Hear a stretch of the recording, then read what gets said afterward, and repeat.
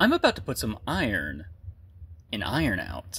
So as you can see, this piece has some rust buildup, and the idea with dipping it in iron out is that hopefully the iron out will eat away the oxidized rusty bits and hopefully save this piece for the future. Might shine it up a little bit as well. This is pretty much a last-ditch preservation method. We're not going to leave it in for very, very long, though. We need this to basically just be a little, little light, little light cleaning Okay, so this was after about a minute and a rinse, but there's still just a little bit there, so we're going to tempt fate and throw it back in.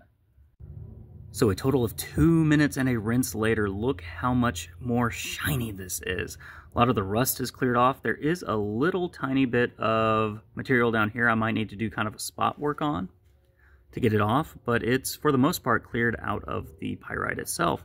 This is a perfectly valid method for clearing up and maybe even preserving a piece of pyrite that might be experiencing some rusting issues.